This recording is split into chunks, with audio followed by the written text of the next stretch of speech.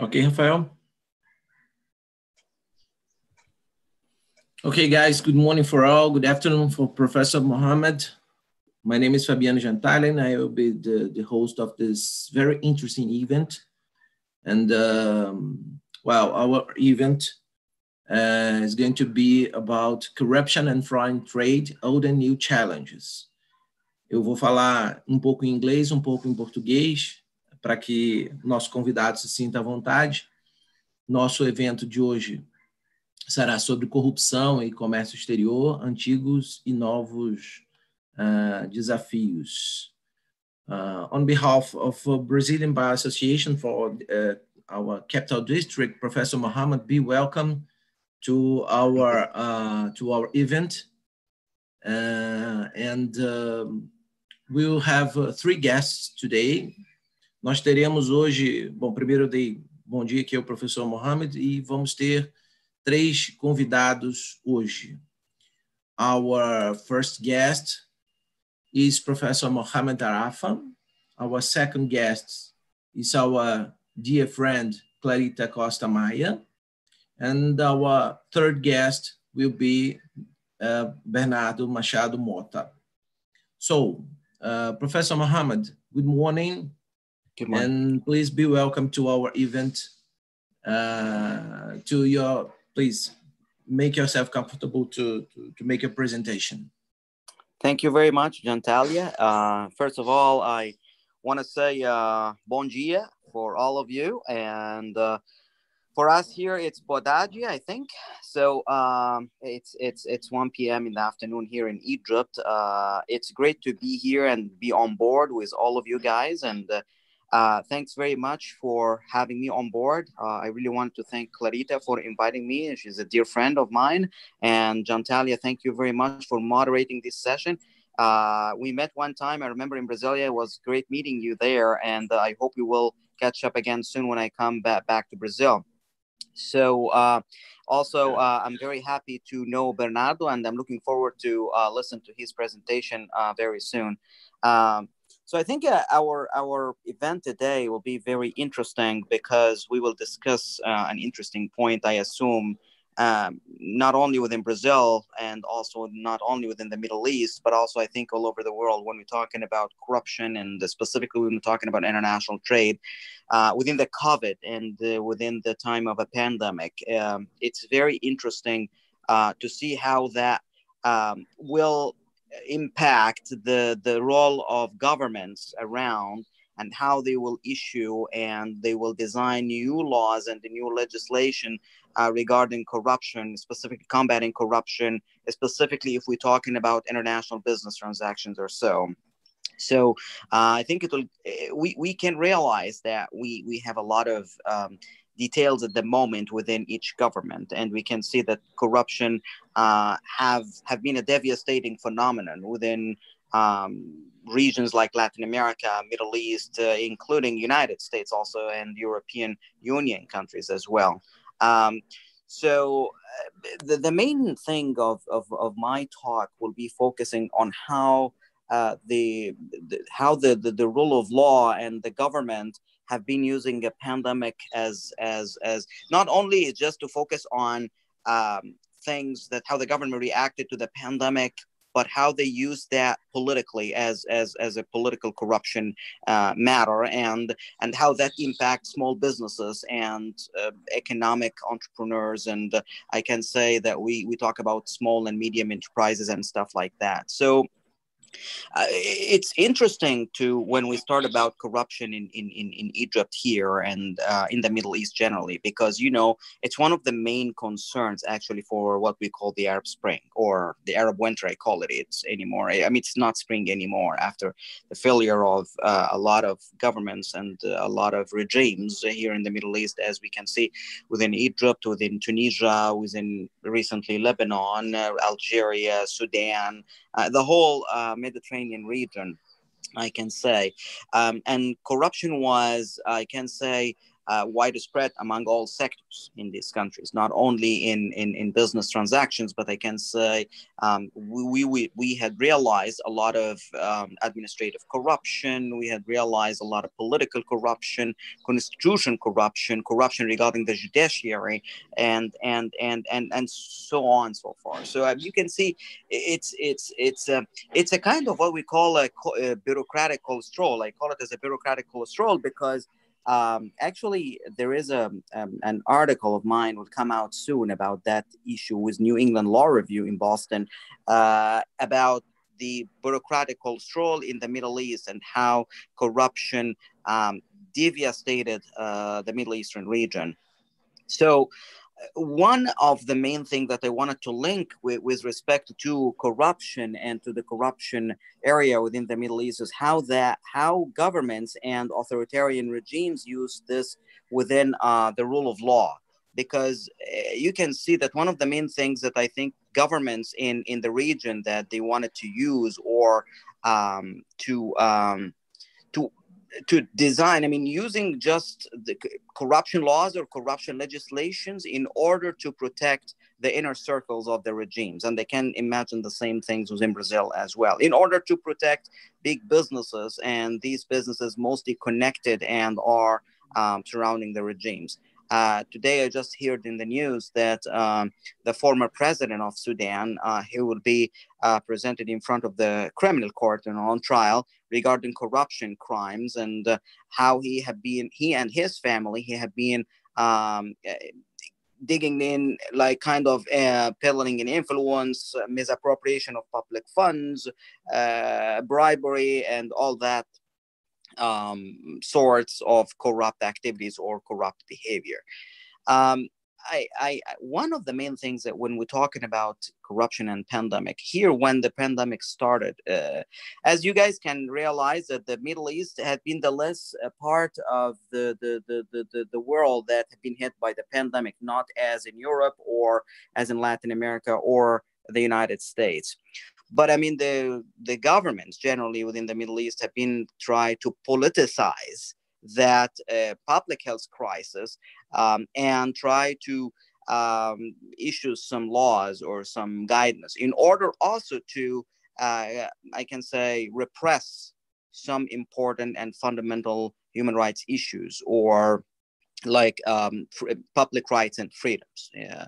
Uh, when we when we start to see some curfews that have been implemented and also like uh, uh, that the freedom i mean the associations and meetings and gatherings around people and stuff like that would, would not be like in, in in progress or in shape to to have um, um, um to to set up their meetings and to set up their um, um their activities again. Um, so I can recently, according to the Transparency International, uh, and the Corruption Perception Index, uh, Egypt and other Middle Eastern countries scores within a bad shape of um, handling uh, corruption activities or corruption um, activities and behavior, specifically in business transactions. And I'm not sure if you guys have been following up recently. There have been a report uh, that have been released by um, international organization discussing how the Middle Eastern regimes that have been dealing recently after the, the Arab Spring and within the new government that they have been using the pandemics in order to politicize issues and to make deals um, within foreign governments.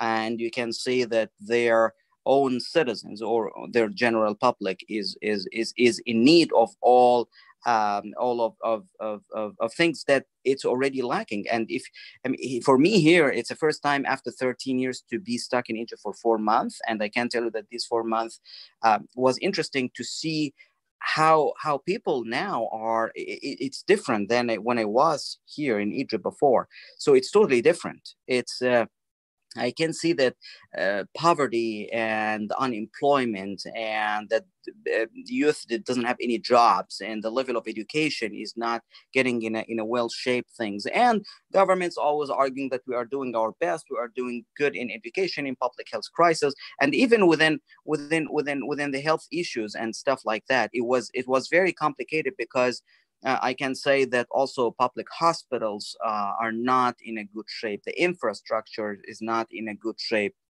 And you can see that not only in Egypt, but you can also take Tunisia, you can also take uh, Algeria, you can take Morocco, you can take Jordan.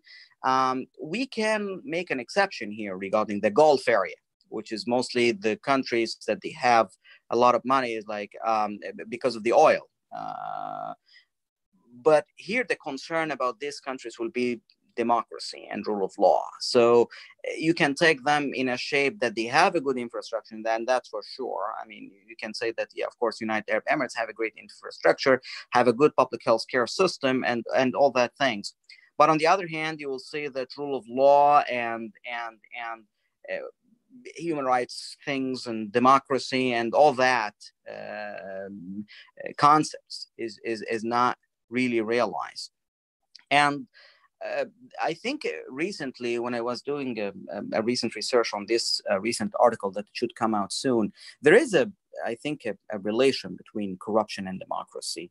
And um, there was a, a, great piece that I read uh, by a, Harvard Law School professor.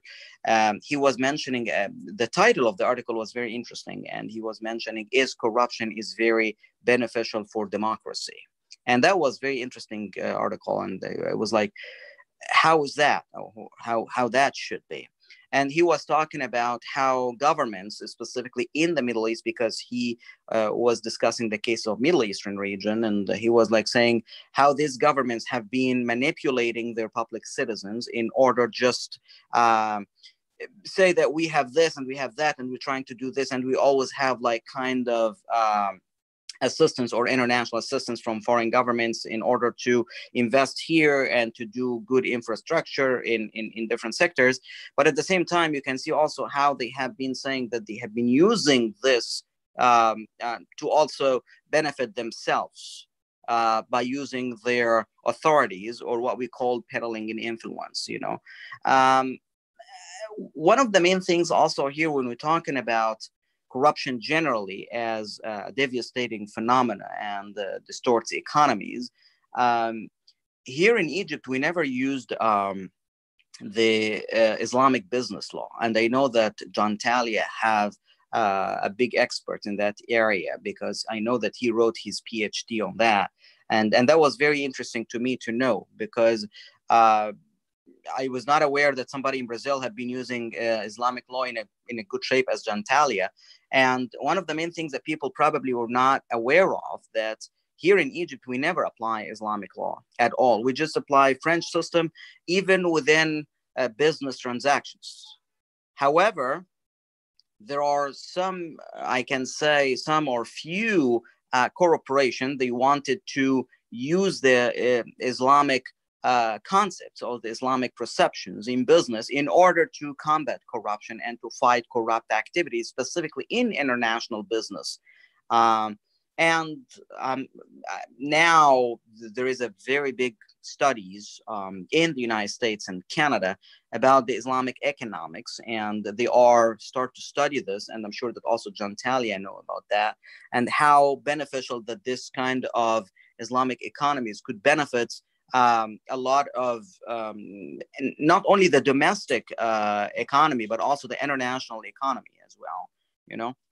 So uh, the, the main things right, right right now which i wanted to just uh, um, make within my talk and the, the, the main argument here how the governments in the middle east have been uh, fighting corruption after the Arab Spring and within a crisis of a, a, public health crisis or within a pandemic. I can say that we started to design some laws and have some laws within, and also like some uh, constitutional provisions talking about conflict of interest and freedom of information and access to freedom of information.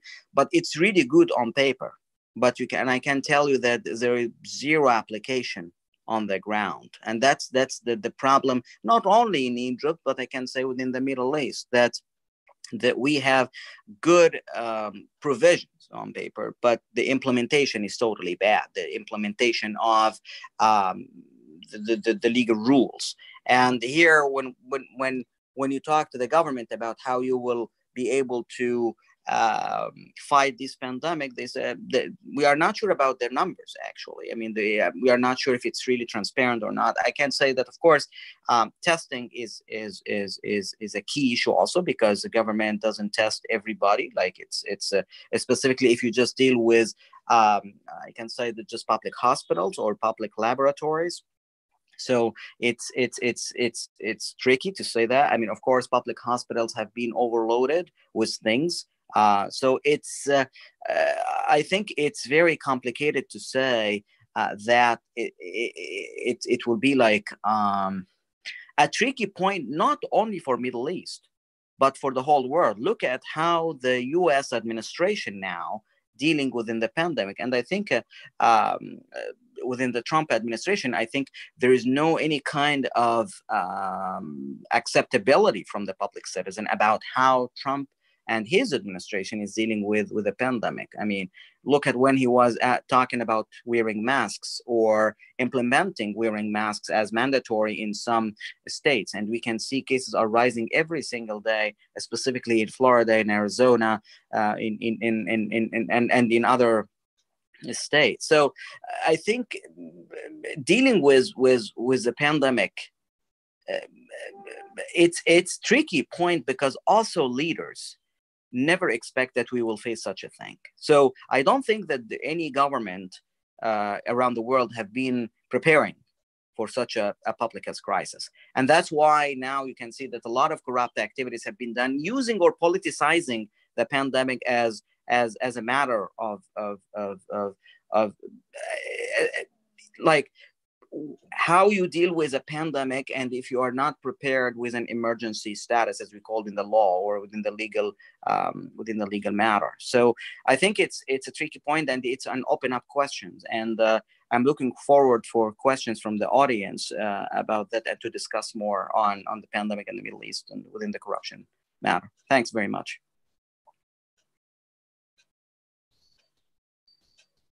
I can't hear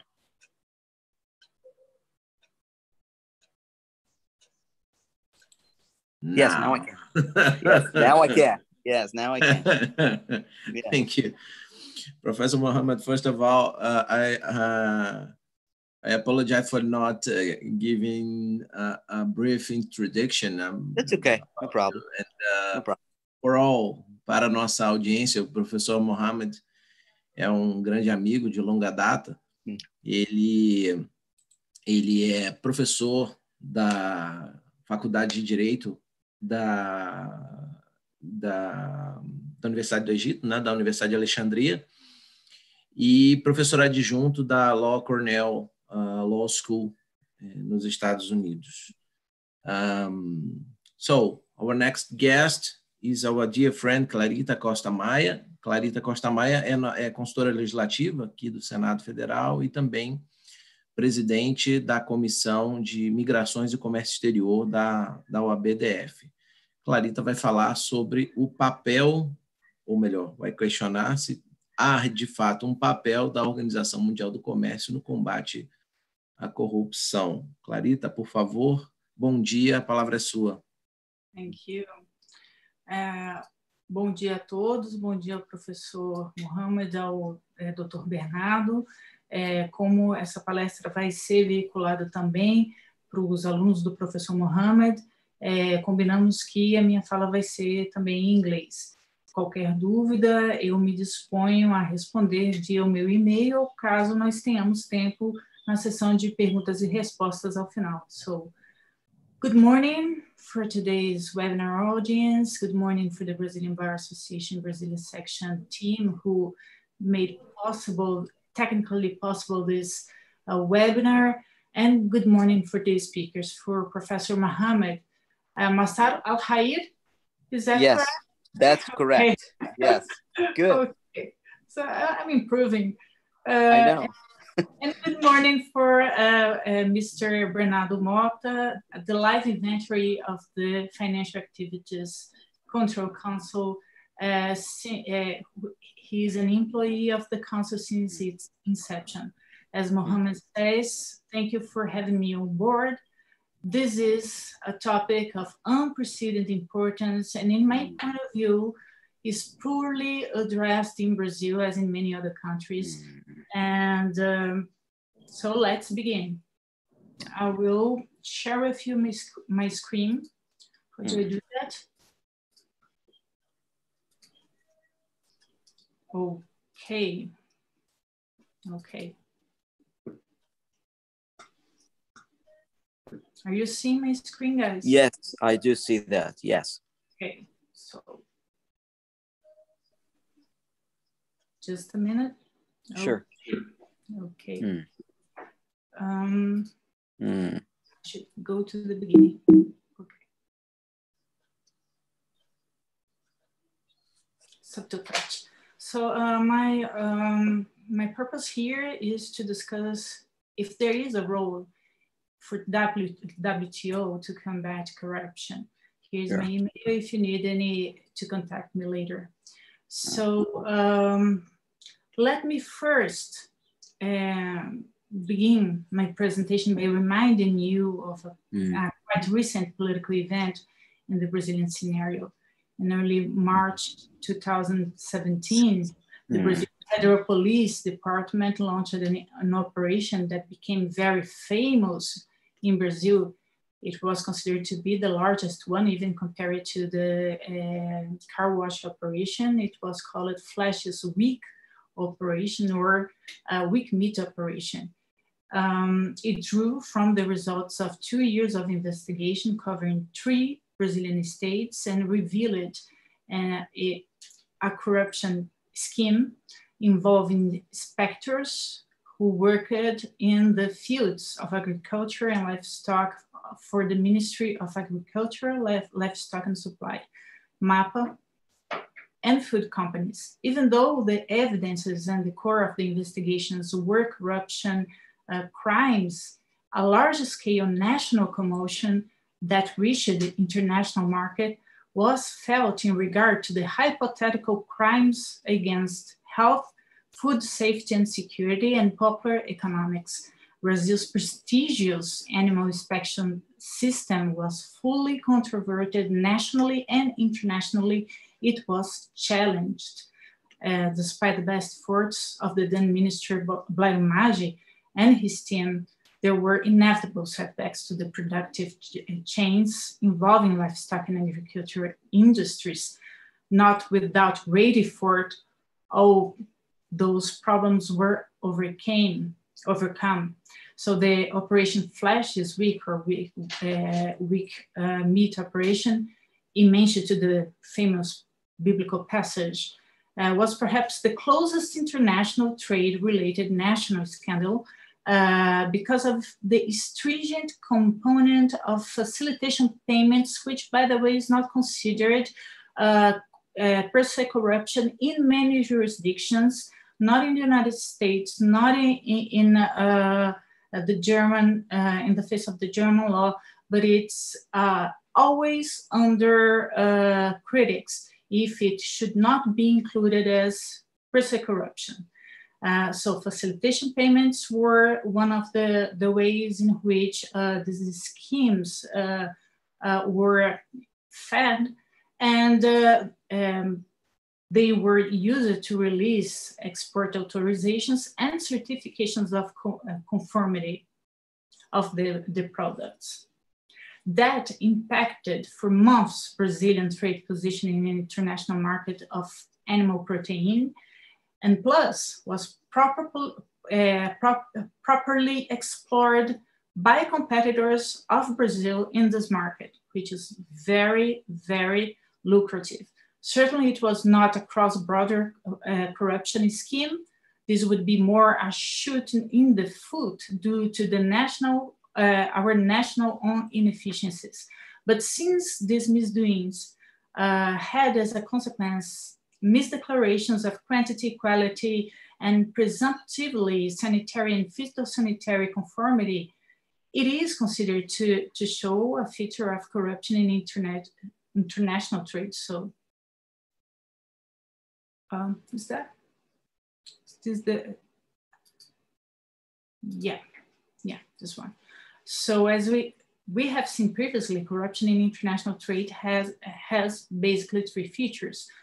unlawful trade of commodities, services, people, misdeclaration of origin, destination, final use, price, quantity, or quality of goods, illicit finance, tax evasion, bribery, fraud, capital flight, money laundering, terrorism financing, which will be addressed by um, uh, Mr. Bernardo Motta later in his uh, speak, speech.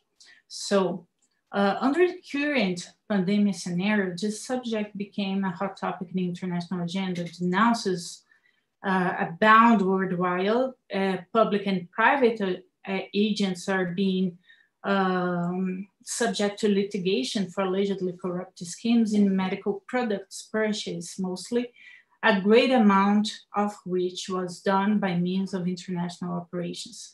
All the systemic vulnerabilities that lead to corruption, political, legal, and of whatever sort, are combined with the international economic downturn, huge debt, strain on governments, business, and people. According to a recent WTO report, international trade operators, wholesalers, international logistics chain will be the most affected by the slowing down of international trade.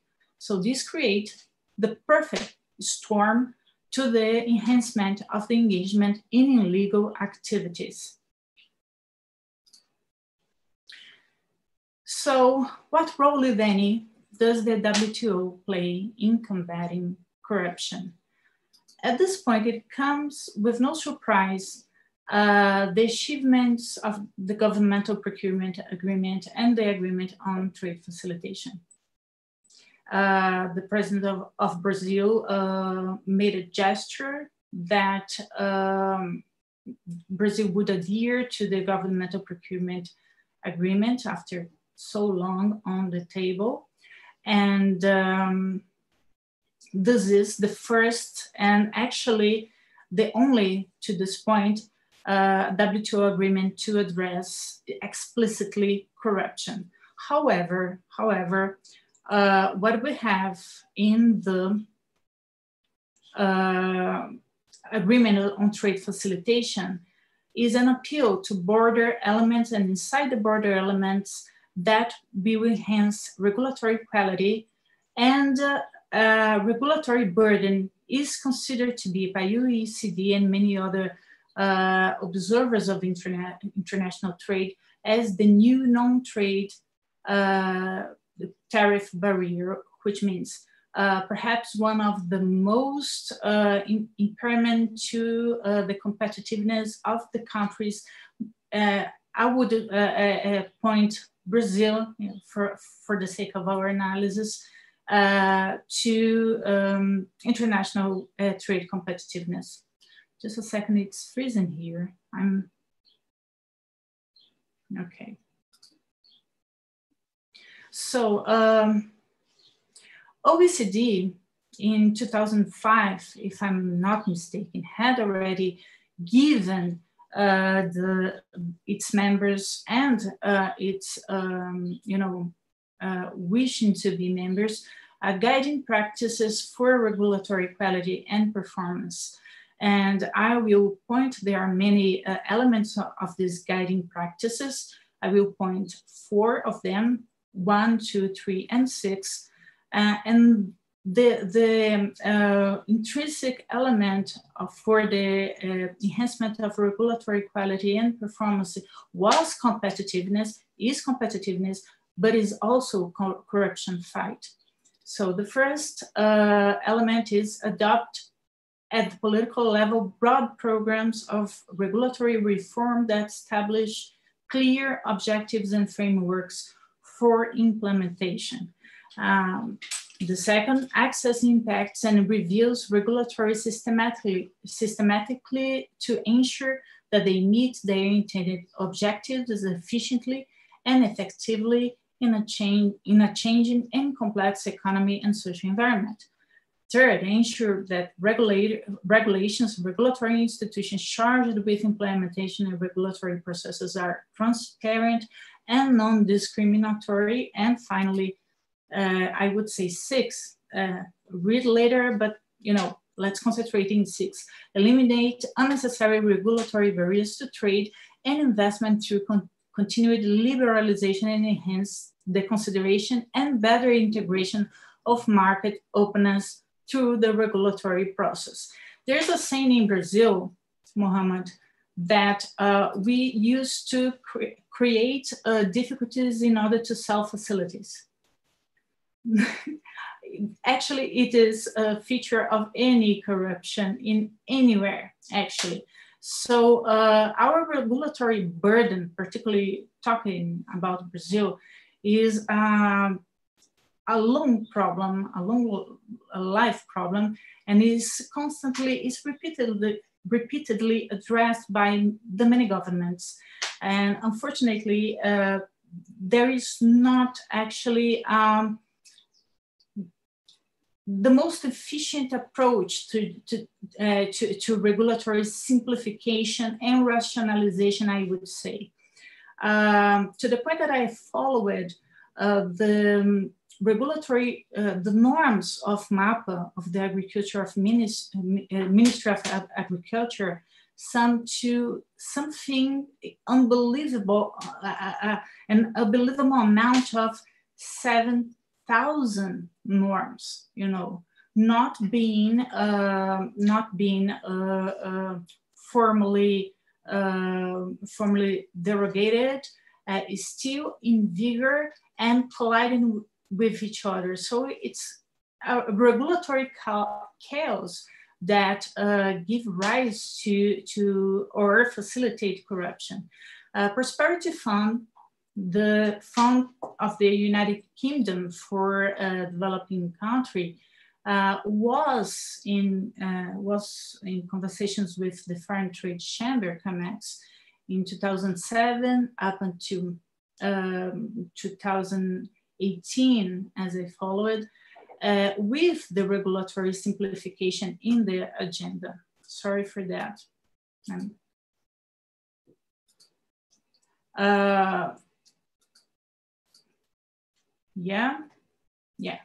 And in parallel to that, the resolution 7, 70 of December 11, 2007, uh, created a kind of task force to rationalize, simplify, harmonize, and facilitate foreign trade, all the norms concerning for foreign trade. Most recently, the Ministry of Economics uh, under Paul uh, administ uh, um, administration uh, created two fronts, the intensive front of regulatory and competitive analysis, uh, which is focused now on regulatory abuse, which means the undue invasion of rights and the, the, finally, the regulation of the regulatory impact, which is a long demand of the uh, Senate House and also the House of Representatives uh, technical team to be implemented in order to enhance the quality of laws. And finally, um, we, we, we talked about uh, two instruments of WTO that more uh, directly uh, addressed corruption, regulatory uh, quality, but also and mostly WTO helps the, the fighting corruption through its transparency rules, which are many actually. Uh, but I like to put this to, to provoke the audience with this uh, sentence of the South Korean author Byung-Chul Han, the transparency in, in, the book Transparency Society. Transparency has no transcendence. The society of transparency is see-through without light, which is a very interesting contradiction. What is transparency? Actually, it's a, a quite opaque term, many would say.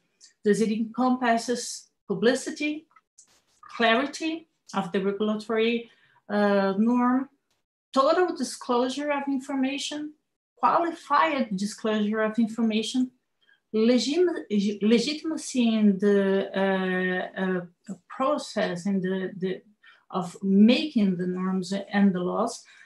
It encompasses administrative transparency, legitimacy, political transparency, legal transparency.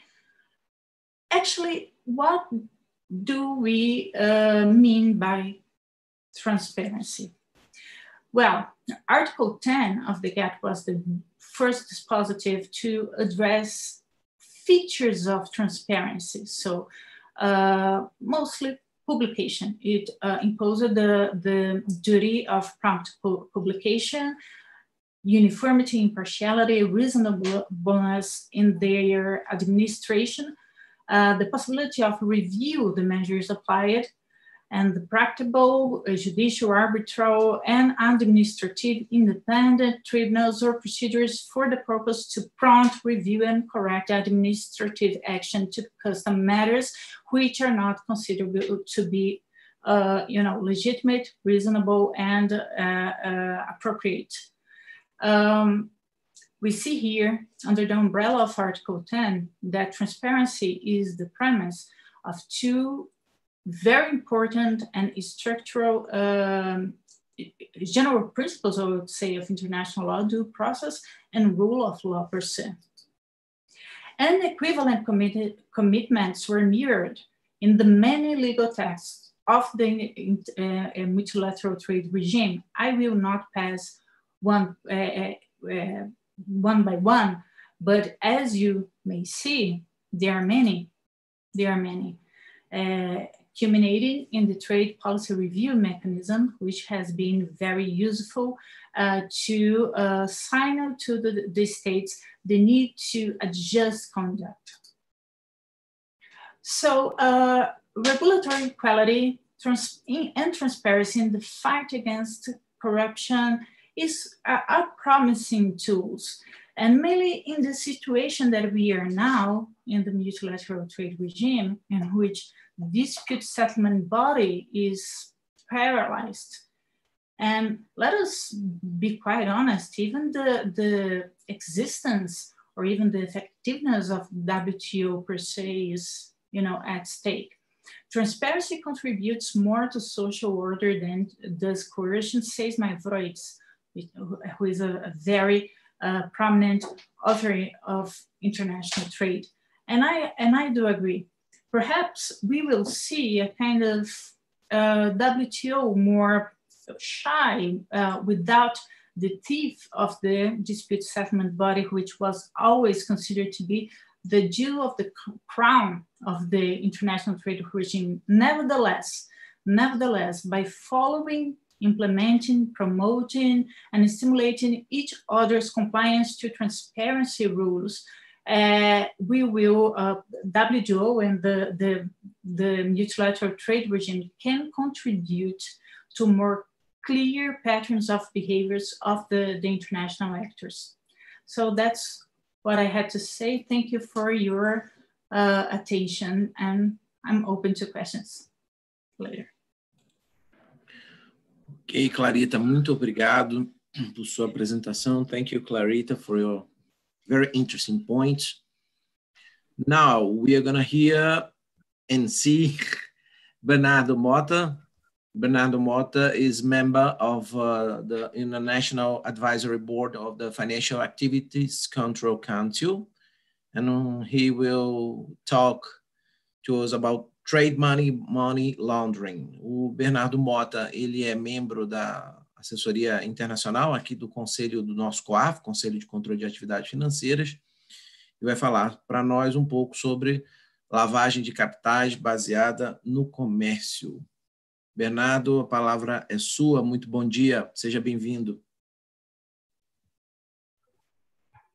Obrigado, professor Jantalha, minha querida amiga Clarita, thank you for joining this uh, event with uh, Professor Mohamed too. I apologize, Professor Mohamed. So, uh, but I, I'll try to speak in Portuguese just to compensate the, possibility of sharing this, this knowledge with people here in Brazil. So uh, I apologize to you, Professor. But uh, of course, we're gonna have other opportunities to to keep discussing this this issue because I think it's very very important uh, to share experience and especially with the academic uh, environment. For me, it's a pleasure to be here with you and the, with your uh, with all of, of, my friends here from the Bar Association. É, bom, quero também então agradecer a oportunidade de poder compartilhar com vocês um pouco a experiência que nós temos nessa, nessa questão da lavagem de dinheiro, especificamente relacionada ao comércio, que eles chamam em inglês de Trade-Based Money Laundering, porque é, no começo de tudo, quando nós, nós começamos a discutir a questão da lavagem de dinheiro, e isso foi muito é, é, é, colocado, que a situação é, existia um foco muito específico em relação à lavagem de dinheiro, simplesmente ocultando o produto do crime via instituições financeiras, ou seja, se pensava muito somente na, na questão monetária da lavagem de dinheiro. E, e aqui é uma oportunidade muito interessante de a gente colocar algumas questões, algumas ponderações. Em primeiro lugar, é, eu diria que fora o crime passional, todos os outros crimes, incluindo a corrupção, é, todos os outros crimes visam obtenção de produto de crime, ou seja, de lucro, de dinheiro, de valores, de ativos. Então, na verdade, a corrupção nada mais é do que um que nós chamamos, dentro do conceito é, na lavagem de dinheiro, de um crime antecedente, ou seja, é um crime que gera um produto que deverá ser ocultado, que, da, que, que deverá ser dissimulado a sua origem exatamente para colocar aquele recurso como uma aparência de lícito.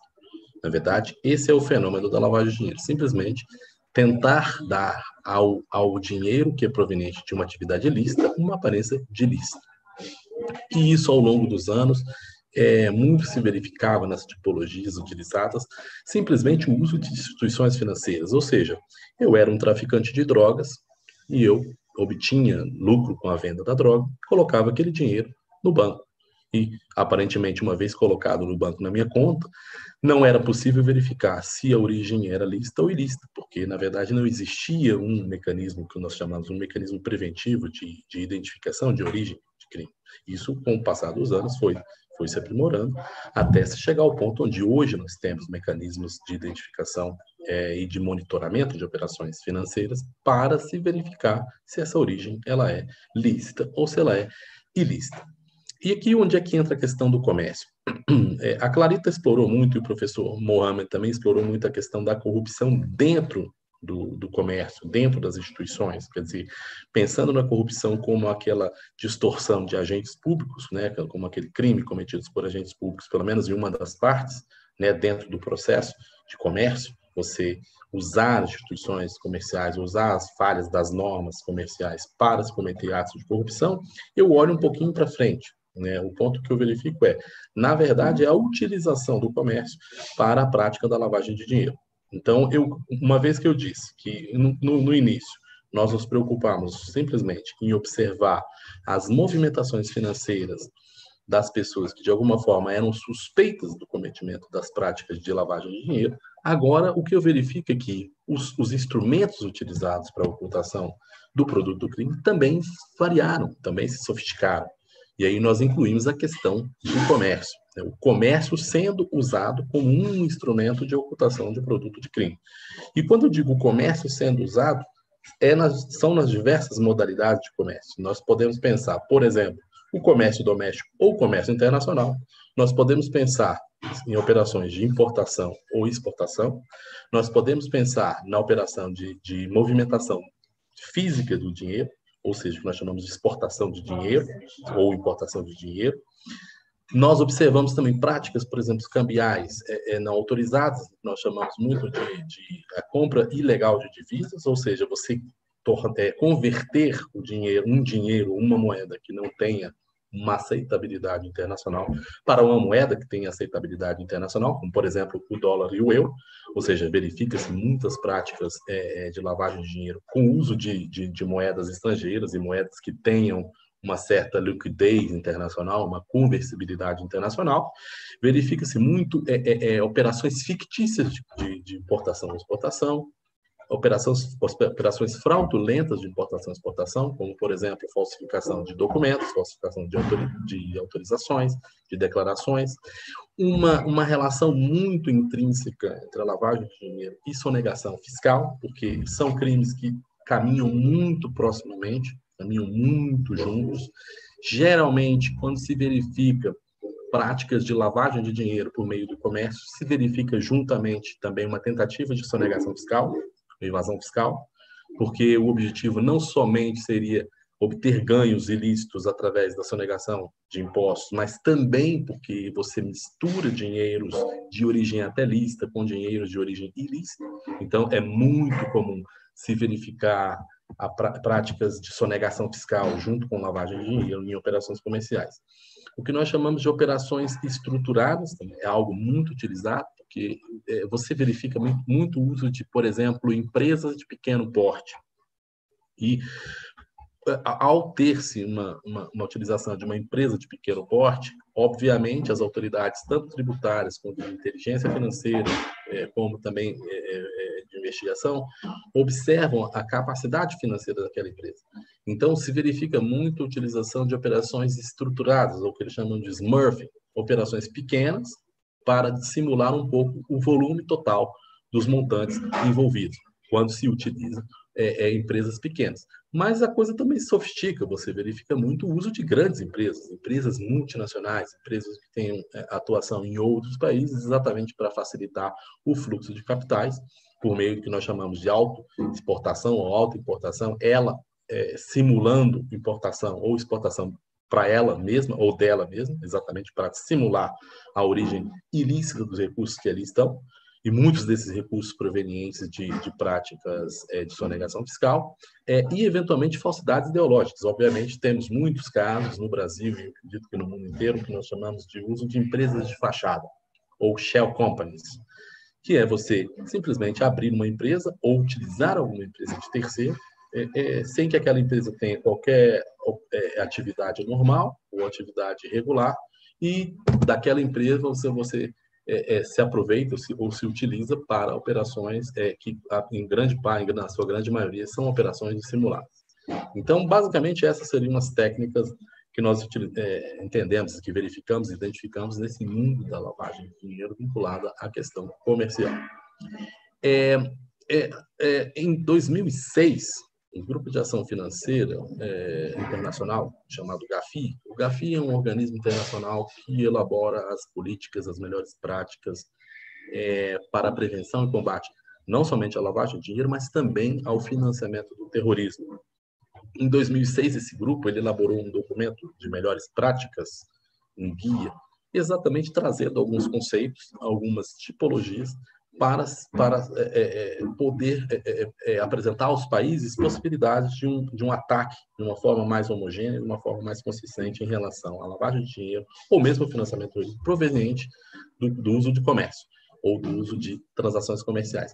E nesse guia, esse guia está disponível no site do Gafi, é, ele trata um pouco as questões conceituais e ele definiu exatamente o que seria o Trade-Based Money Laundering. Nada mais é do que práticas de lavagem de dinheiro que utilizam o comércio de bens e serviços. Se verifica muito, e é muito interessante ter esse debate aqui é, na, na UAB, se, se verifica muito a, a utilização de, de, que eles chamam de é, gatekeepers, ou, ou ramos de serviços ou profissionais que, de alguma forma, serão à frente, ou eles irão mascarar quem exatamente está por trás das operações ilícitas é, a utilização de escritórios de advogado, a utilização de escritórios de contabilidade, ou aquelas é, é, empresas offshore, que na verdade é, é, você poder abrir algum tipo de negócio comercial, ou que seja de bens, ou que seja de serviços. Você poderia abrir, por exemplo, um escritório de, de consultoria, de fachada, onde não se, se, se, obriga, por exemplo, a necessidade de estar fisicamente na localidade, porque a legislação daquele daquela jurisdição admite esse tipo de, de, de, de, de negócio, você se utilizar dessas, desses ramos para prestar serviços que eventualmente, ou para é, é, ocultar recursos é, na prestação de serviços que, na verdade, não são realizados. Então, é muito comum verificar o uso desse tipo de, de atividade, seriam é, é, atividades é, profissionais, ou, ou, serviços, em que, na verdade, o serviço, na verdade, nem é prestado, nem é prestado ele simplesmente ele oculta, ele mascara recursos, né, justificando que teria prestado algum tipo de serviço é, é, e recebendo recursos que têm origem criminosa ou espúria. Então, é, é, também uma prática bastante utilizada nessa, nessa questão da, da lavagem de dinheiro vinculada ao comércio. Também inclui a parte de serviços. Nós não podemos deixar de falar que o comércio, em muitos casos, também é utilizado para financiamento do terrorismo. Se vocês observarem, e eu colocaria é, um pouco uma pequena diferença entre, entre lavagem de dinheiro e financiamento do terrorismo, é, é, quando você tem, por exemplo, a lavagem de dinheiro é muito clara que a, a origem do recurso é que é, é que é ilícita e o seu objetivo, né, a finalidade é o uso fruto ou a ocultação ou dissimulação para dar uma aparência de ilicitude. No caso do financiamento do terrorismo, é, é um pouquinho diferente essa prática, porque ele tem uma origem que pode até ser lícita, o dinheiro pode até ser de origem lícita, mas a finalidade seria ilícita, ou a finalidade última seria a, a perpetração de um ato de terrorismo. Então, o uso do comércio, nesse caso, poderia ser visto de uma forma a, de alguma, é, alguma forma, não chamar a atenção para as autoridades que eventualmente estariam investigando é, condutas ou suspeitas de algum, algum possível ato terrorista, o comércio disfarçando essas operações, porque você pode colocar uma cadeia de empresas envolvidas e essa cadeia de empresas fazer transações entre elas e, de alguma forma, fazer encaminhamentos ou transferências para que esse dinheiro é, consiga atingir seu objetivo, que é o financiamento de atos terroristas. Mas o financiamento do terrorismo ele também tem que ser visto como o, o, a manutenção de estruturas terroristas, ou seja, o comércio alimentando a, a uma, uma, estrutura é, que, que, eventualmente não cometa um ato naquele exato momento ou com aquele é, exato dinheiro, mas ele consegue se manter. Então, você tem empresas que, de alguma forma, prestam serviços de, de, de estruturação é, alimentar, ou mesmo é, é, alugam galpões para se preparar atos terroristas, ou eventualmente alugam é, residências, ou, ou, abrem negócios que, na verdade, não existem, para poder um pouco dissimular é, é, as pessoas e tentar ocultar os beneficiários daquele, daqueles recursos. Então, uma série de práticas utilizando o comércio em geral, e, e aí os, o comércio nas suas mais diversas é, modalidades. Né? Nós vemos muito, por exemplo, no Brasil, o uso de empresas de fachada, ou é, é empresas que nós falamos que, que é, é, onde não há uma relação negocial entre elas. Então, por exemplo, seria uma empresa é, de informática que transaciona com uma, com uma empresa, uma, um frigorífico de carne.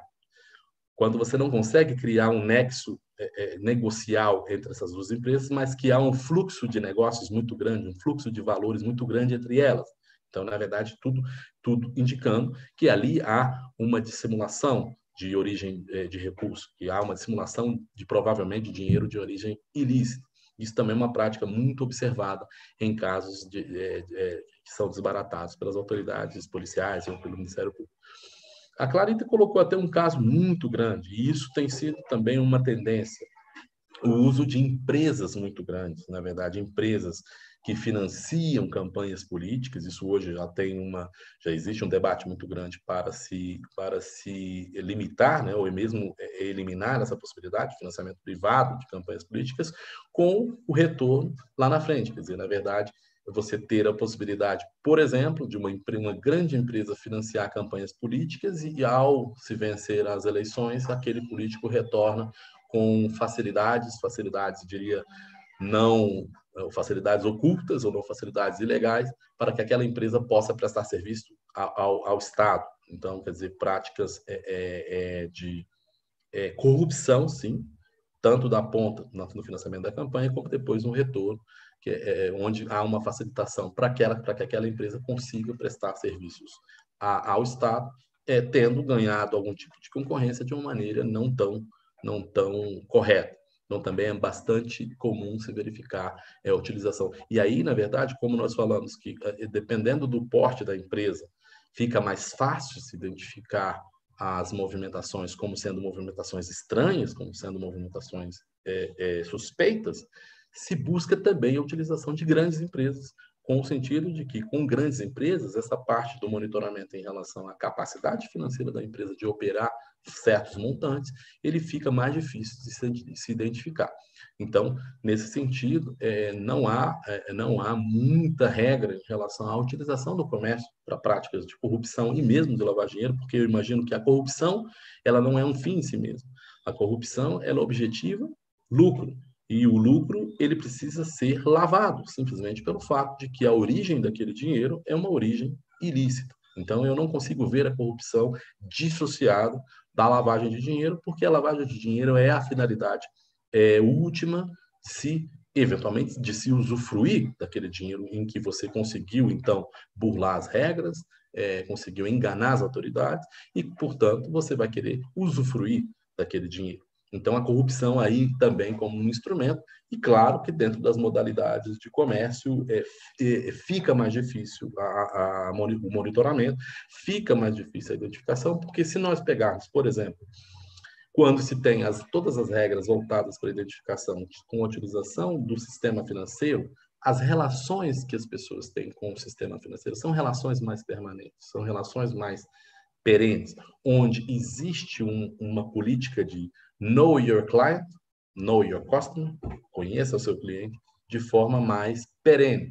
Ou seja, o gerente sabe quem é você. O gerente sabe da sua capacidade financeira e o gerente consegue identificar se houve é, movimentações que fugiram do padrão da sua normalidade. Quando você traz isso para o comércio, fica muito mais difícil de identificar. Em primeiro lugar, porque você não tem uma capacidade de monitoramento das atividades comerciais como se tem, por exemplo, nas atividades financeiras.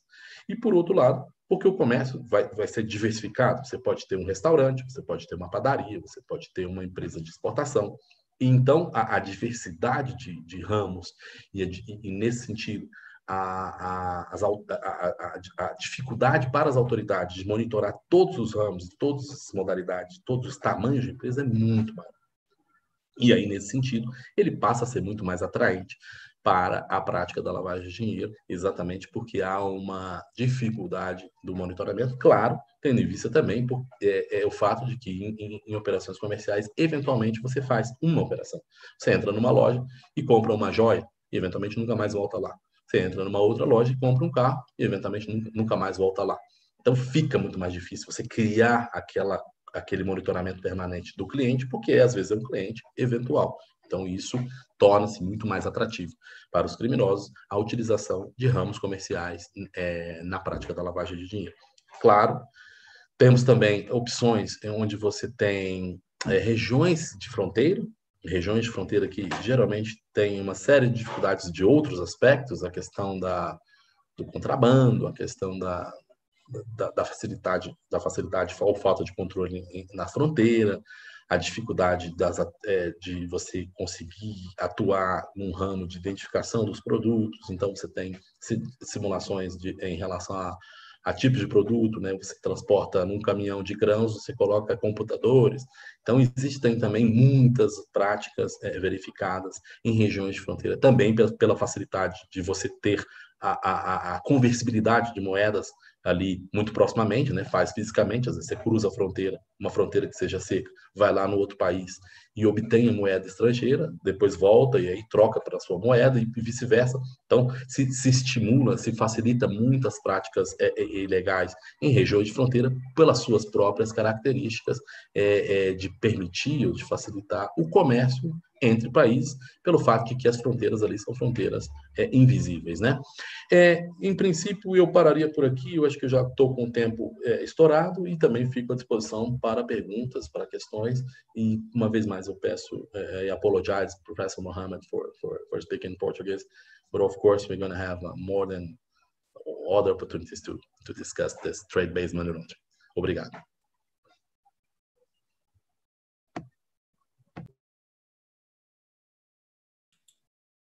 Eu e o botão do, do mute aqui. Obrigado, Bernardo, por suas contribuições. Um, temos perguntas? Do you have any questions from the audience? I do have one. Oh, please. but it stands for, it's for Professor Mohamed. Professor, um, I think, if I'm not mistaken, it was, I, I, I'm losing the, the sense of time. I don't know if it's some, it's my thing under this pandemic, but I think it was like uh, 15 days ago to a month, American Legal Association made a webinar, very interesting, about the authoritarian turn of international law. Uh, and they addressed, the speakers addressed three topics being, um, I remember only two of them, cyber crimes and terrorism. And from your saying, I understand that there is a major concern about how uh, the political scenario of the Middle East, East will uh, evolve in this pandemic situation? Uh, will uh, the Middle East have more or less democracy, more or less rule of law, more or less conditions to uh, improve well welfare of the population and, and human rights and uh, well um, do you have uh, is there a, a kind of um, systemic attempt uh, analysis or even an attempt among uh, scholars of the Middle Eastern studies to uh, address this topic to understand the systemic impact of the cor corruption during pandemic to the future uh, political change and po political futures of Middle East? I think that Professor Mohammed is um, is muted. Rafael, ah, thank. No, he's still muted. Uh, Rafael, poderia liberar o professor Mohammed? Deixa eu ver se eu consigo. Não consigo. Uh, Rafael, você consegue liberar o professor Mohammed? So, okay. Can, can you hear me now? Yes. Oh, that's good. All right.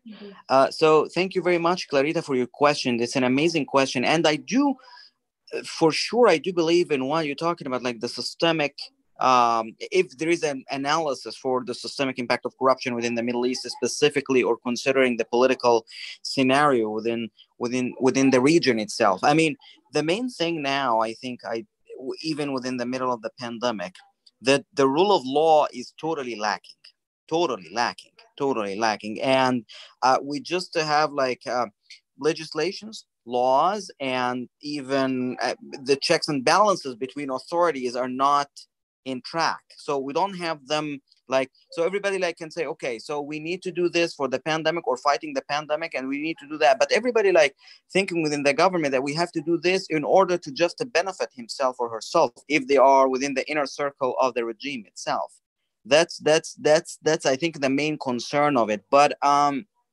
one main important thing uh, I did uh, discuss with one of my friends before is when we talk about the concept of conventional and unconventional corruption, and this is, I think that's the case of the Middle East now, the unconventional corruption, because when we're talking about the conventional corruption, it's just the regular quid pro quo ideas and like the bribery, fraud, embezzlement, misappropriation. But the unconventional corruption is totally regarding your point, how when we're talking about how the political scenario will shape or will design the the the, the, the government um, what let me see the term the good term for that uh, the government body in terms of um, fighting or battling corruption, not only within international instruments, because we do have international instruments, as you pointed out in your presentation regarding the OECD guidelines and the, the OECD International Bribery Convention and the Inter-American Convention and the European Union Convention Against Corruption, even the, the, the United Nations Convention 2003 but how we will deal with this eh, from the government perspective one great thing that i think you also addressed in your presentation which i think it should be connected to that is the problem of facilitation payment. And we do have this here in egypt. We do talk about facilitation payments but we are not sure if it's already like criminalized or not.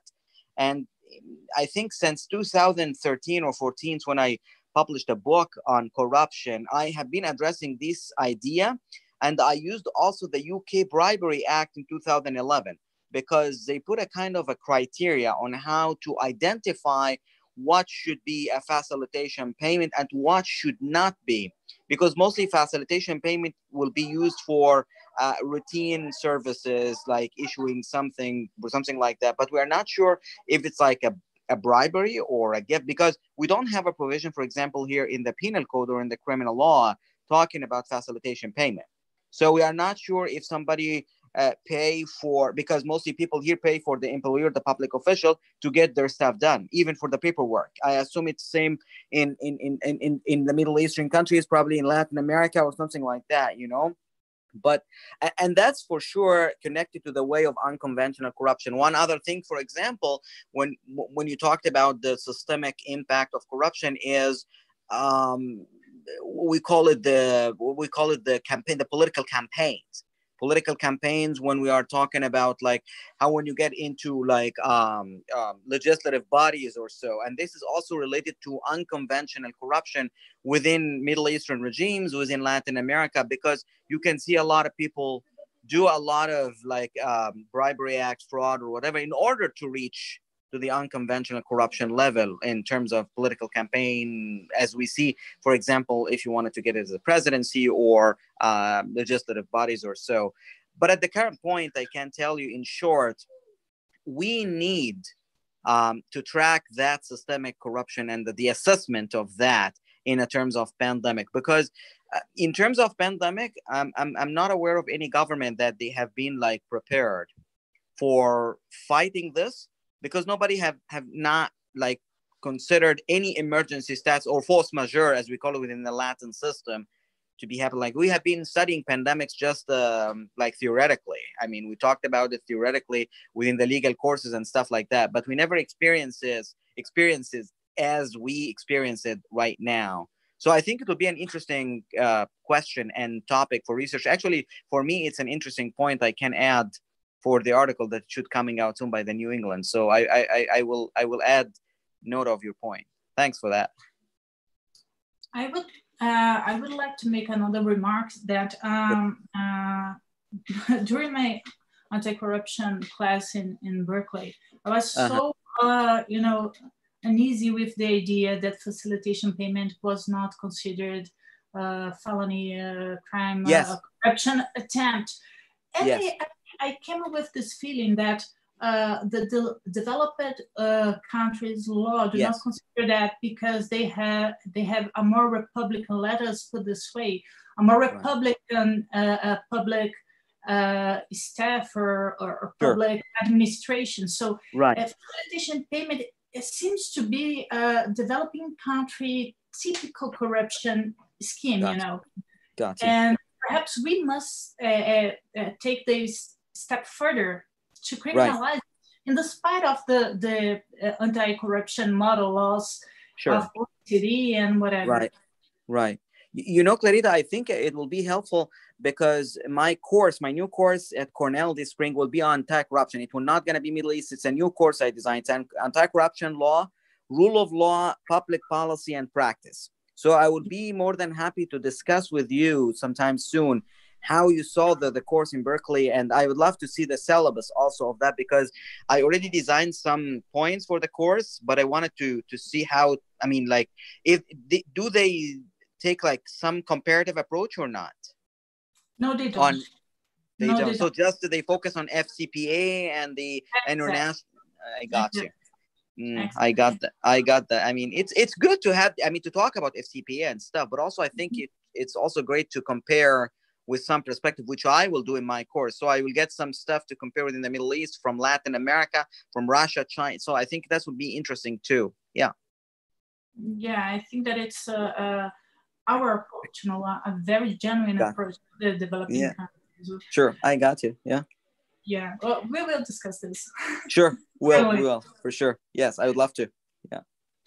Eu tenho uma, uma pergunta também para o é, Dr. Bernardo Motta a respeito da, é, da eficiência dessa, das, das, não campanhas, mas investigações com relação aos esquemas de corrupção envolvendo é, é, comércio exterior. Infelizmente, é, toda a fala do Dr. Bernardo é, me soa tão familiar por lidar com, com esse tema. De fato, é, é, é uma pena, mas nós encontramos com muita frequência agentes, é, digamos, mal intencionados nesse mercado internacional.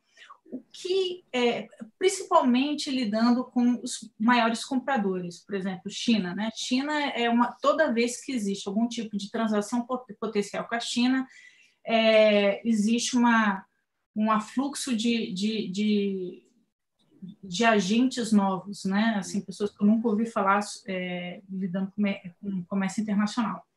Uma das coisas é, que eu, eu, pude aferir é, num, num, curso que eu fiz na China, é, na Academia de Comércio Internacional da CCPIT é que eles estavam em vias de fazer, em vias de, mas depois é, voltei a consultar é, a, a, minha professora lá e parece que a coisa foi suspensa, morreu.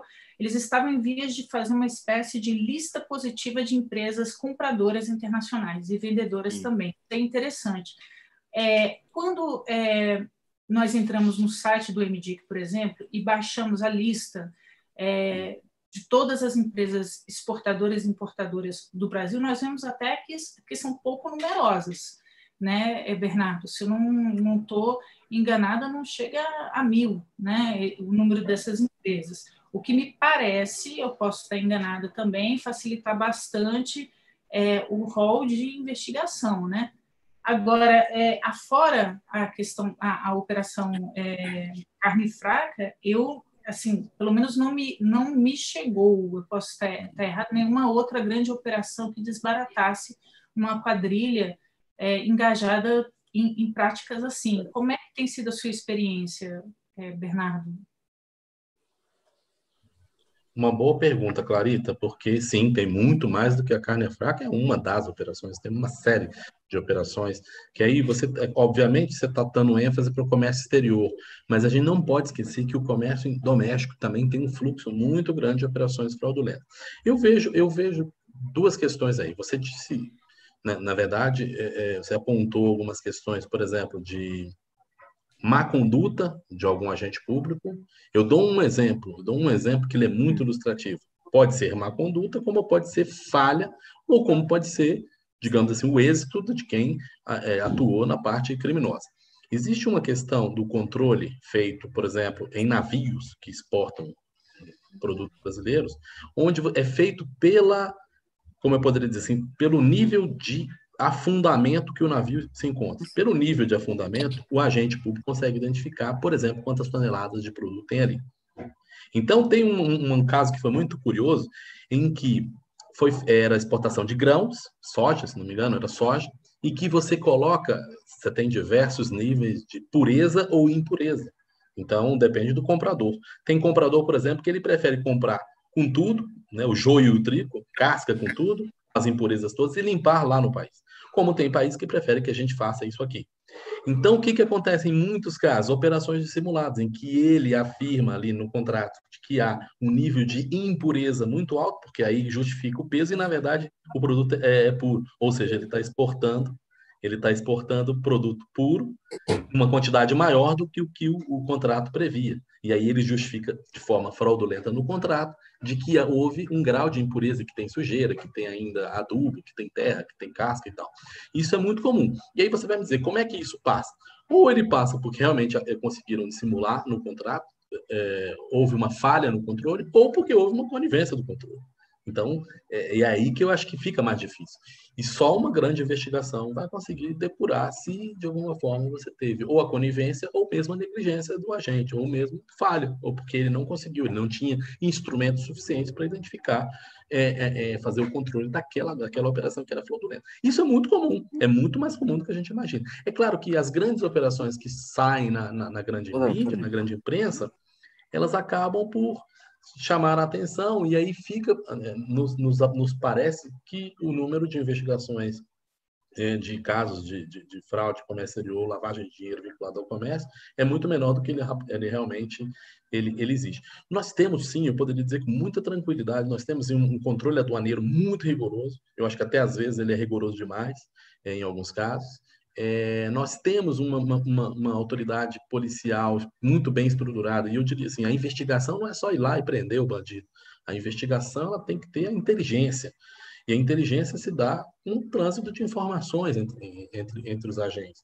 E aí precisa haver uma parceria, né? Você precisa ter uma, uma, uma cadeia de atores para se ter uma boa informação, eu diria. E o Estado sozinho não conseguiria fazer frente a isso. Por isso que eu te disse que o banco, ele tem um papel lá na ponta, por exemplo, o banco ele sabe que você é você e que você movimenta com uma certa, um certo perfil financeiro. Se de repente o banco começa a ver que você muda um pouco o seu, o seu fluxo financeiro, você aumenta os depósitos, muito depósito em espécie, muito, muito envio de dinheiro para o exterior, e aí você começa a cruzar dados. A, a inteligência financeira que é feita pelo COAF, como no Egito também tem uma unidade de inteligência financeira no Egito, o que, que ela faz? Ela pega aquela movimentação suspeita, a Clarita recebeu um depósito em, em, em dinheiro que veio do exterior, uma transferência, uma SWIFT que veio do exterior. Aí chega essa informação para o COAF. O COAF vai cruzar dados. Eu vou dizer assim, mas a Clarita ela não opera no comércio exterior, porque o, o COAF tem acesso à base de dados, por exemplo, a Alice Web, que é, que regula, é a base de dados que contempla as empresas que realizam comércio exterior. Ué, mas a Clarita ela não teria nada que justificasse é, é, esse, esse fluxo intenso de dinheiro do exterior para a conta dela, porque ela não é exportadora, pelo menos ela não está, não está registrada na base de dados Alice Web para ser uma, uma empresa de exportação. Então você começa a cruzar dados. E esses dados, assim, a, a boa investigação, ela depende de bom volume de, de informação de inteligência, que é exatamente essa prévia análise, esse, esse, esse, nessa, essa análise comportamental de situações que estão ali orbitando em relação ao fato principal, né, operações, movimentações financeiras, as localidades, aos países para onde vai, a relação, se existe a relação negocial, você começa a criar uma massa crítica, um valor agregado de informações que permitem dar, ter uma boa investigação. É claro que quem vai desbaratar lá na frente é, é a autoridade investigativa, mas é claro que ela já estaria municiada de muitas informações é, é, que permitem ter um, uma percepção muito grande daquilo que ocorre. Os números de casos eu não tenho o número exato, obviamente, mas é muito um número bem maior do que eventualmente esses que saem na, na grande imprensa. É, eu, eu, vejo demais assim pequenos exportadores, importadores é, é, se aventurando no mercado é, porque conseguem um contrato spot, entendeu? Uma venda, uma compra e a partir disso conseguem um, um dinheiro ou alegam ter recebido um dinheiro interessante, o que é, é, ensejaria, né, assim, poderia cobertar uma grande lavagem de dinheiro. O número, Bernardo, de, desse tipo de pequena empresa exportadora e importadora, é, até mesmo aqui no, no, Distrito Federal, me surpreende, né? Quer dizer, pessoas que, que é, você sabe quando você sabe disso, quando você frequenta o ambiente que, que a expertise é um tanto é um tanto restrita, né? Assim, e, enfim, é, eu, eu fico também me perguntando se não é o caso do COAF ou do, do Ministério da, da, Economia criar uma lista positiva também, ou avançar essa ideia de lista positiva. Eu não sei por que motivo a, a China não é, ultimou isso, mas é, eles identificaram que havia tanta empresa de fachada, ou empresas Mickey Mouse, como eles chamam, né? É, na China que isso estava criando tanto, tanto barulho na comunicação entre é, vendedores e potenciais compradores é, chineses, mais nessa via, né, Brasil exportando, que eles é, acharam que era uma, uma questão de interesse nacional com, é, combater esse tipo de empresa, né? Empresa que diz que tem um, um, digamos, um registro empresarial, um CPF na China e não tem, né? E no entanto, as pessoas, aqui no Brasil as pessoas não sabem fazer o due diligence. O que, que você acha sobre essa questão de criar uma lista positiva? Você acha que, que é possível, é factível isso? Bom, talvez seja. Eu acho que lista positiva ele sempre ajuda, por exemplo, eh, mais, por exemplo, na cooperação internacional, né? eventualmente para garantir a idoneidade, a transparência, né? a integridade daquela empresa com, com fluxos internacionais. O papel do COAF não seria esse, assim, não, não, não, não, não, caberia ao COAF elaborar uma lista desse tipo. Nós não lidamos com esse tipo de, de credenciamento, certificação, não é o papel da unidade de inteligência financeira. Mas se você me disser, eventualmente, há um ministério, hoje é o Ministério da Economia, né, que cuida do comércio exterior, eventualmente ter alguma, um cadastro idôneo, é, é, é, é muito mais comum nós termos listas, que eles chamam listas negras, né, listas de, de pessoas ou empresas que têm problema, por exemplo, as listas da ONU de terroristas. É uma lista negativa, digamos assim. Ali é para facilitar, no ramo que, que, você atua já na prevenção e eventualmente na repressão ao crime, é, eu tendo uma lista onde diz que aquele cara ele é, ele é, ele é um alvo, eu vou atuar da forma a impedir que ele perpetre crime aqui na minha, na minha jurisdição. Assim como listas da Interpol também são listas mais restritivas. É, eu acho uma boa ideia, assim, na verdade precisaria saber em primeiro lugar qual, quem seria a autoridade capaz, em primeiro lugar, de, de administrar essa, base de dados e atualizar, que eu acho que é o mais importante, porque uma, uma, empresa que é idônea, ela pode vir a não ser idônea. Uma empresa que não era idônea pode vir a, a ficar idônea.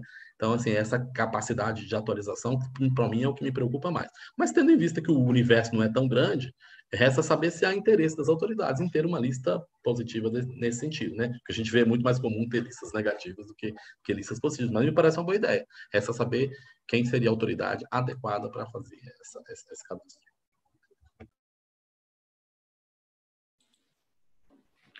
Ok. Debate cada dia mais produtivo sobre isso, né? É, enfrentamos isso também, tem uma atuação no sistema financeiro, minha, minha, minha, atuação profissional de longa data sempre foi no sistema financeiro, a gente vê muito esse tipo de problema, principalmente agora relacionado ao comércio, porque às vezes você tem uma subjetividade muito grande, como o Bernardo colocou, né, nas questões relacionadas à inspeção de mercadorias, você diz que está exportando uma coisa, está exportando outra, e isso é realmente muito preocupante se você não tem a atuação de autoridades aduaneiras mais atentas.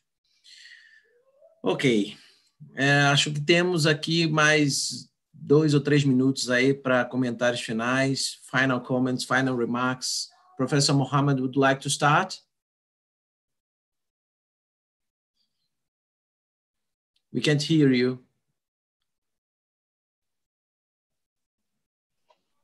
Can, can yes. you hear me now? Yeah, now. Yeah, I, I, I, want to thank you all for having me on board. That was very interesting event. I really learned a lot from Bernardo presentation, Clarita presentation. However, within Bernardo presentation, I didn't understand the whole thing. I get some of the things because it's, it's in Portuguese and I'm trying to work on my Portuguese at the moment. Clarita know that, and probably you know that.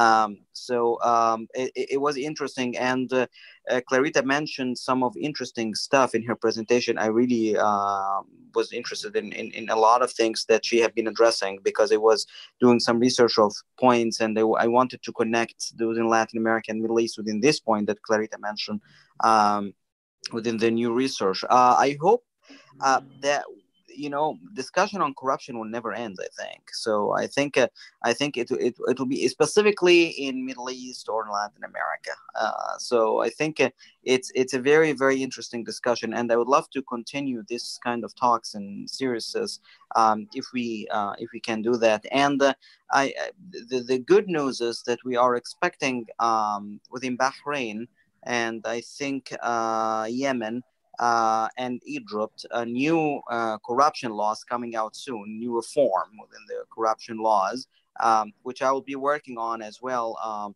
within research at, in the United States when I get back to Cornell. Uh, I think uh, we, um, I would love to have some of you, if you are interested, to come as guest speakers in my class in, in Cornell uh, for, for addressing some of these issues in Latin America. So I will have two sessions in Latin America. So I'd love to have some of you um, to speak uh, on that uh, because I will do the course on corruption, but also in a comparative approach. So I bring a comparative approach from the Latin American perspective. And for sure, um, if any one of you will be interested, I will be more than happy to have him or her in, in, in, in class. But uh, other than that, thanks for that. And uh, I would be more than happy to, if, if there is any other questions from the audience, I will be happy to, uh, to get on. Yeah, thanks. Okay, thank you, Professor Mohamed. Clarita, what about you? Would like to make some two or three minutes uh, yeah. final remarks? Only to to thank for the Brazilian Bar Association for the sure. for the help and, and constant mind opening. All the events that we propose to the Brazilian section uh, are accepted.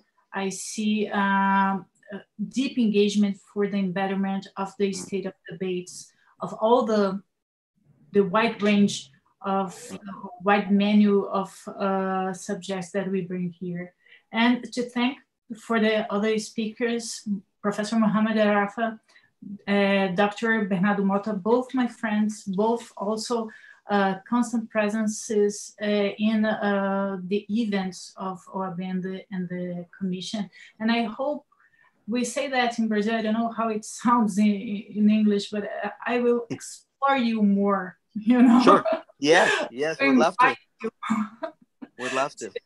Yeah, to address other, other topics for our audience. Thank you so much. Thank you, uh, Dr. Fabiano Jantalia. Jantalia is uh, always a, a, presentation on uh, the perspective, uh, his perspective of uh, Islamic financial law. I, right? I, I, wanted to I wanted to manipulate him at some point. He's running away. yeah. He's running away. I always uh, uh, try to catch him, but one day yes. we, will, we will do it. yeah, we have to do that. Yes. yes. Okay, thank you, Clarita. And Bernardo? Bernardo é ótimo, né? Eu falando com o Bernardo em português com sotaque em inglês. Bernardo ou Bernardo? and, and thank you, Jantalia. Now I'll do my closing remarks in English for the benefit, benefit of Professor Mohammed. Uh, what basically I said during my presentation was that the trade-based money laundering is a very interesting, uh, I would say, uh, modality of money laundering, not only money laundering, but also terrorist financing because of the difficulty that we have in terms of identification and the control of not only of all of the species of, of companies. For example, we are talking about uh, small companies, big companies, right. um, uh, exporting companies, importing right. companies, shell companies. So right. a lot of typologies regarding right. uh, those, the, the trade uh, area for money laundering and, and, and also for terrorist financing. So basically what I mentioned during my presentation is that we have to think about not only the public corruption, but the private corruption, because if there is corruption, there is one corrupting side in that side. So we have to think both sides to, to, to try to capture, I would say, the trend or the, uh, to make possible to, to track all of the flow of money Mm. uh, to make possible the identification and even the repression of ah. those kind of crimes. So basically what I said, and thank you to all. It was a pleasure for me to share this, this, uh, this, this event Bernardo, with you all. Yeah. I have I have a, a, quick like probably question or comment. So in Brazil, do you guys have like a kind of a specific money laundering law that organize or yeah yeah yeah yeah we have a money laundering law and we have a uh-huh. terrorist financing law.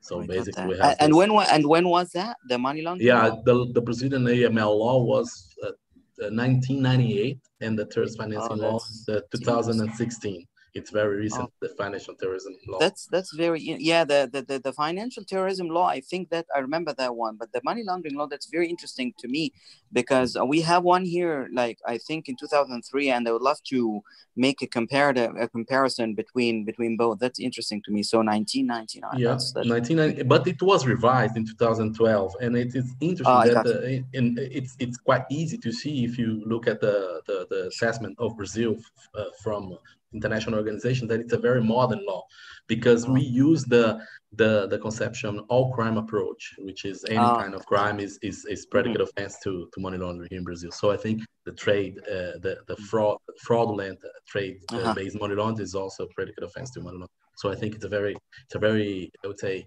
updated law in in, that's in good. Brazilian perspective. Sure. Thanks. Thanks for that. Thanks. Yeah thank, thank you. you.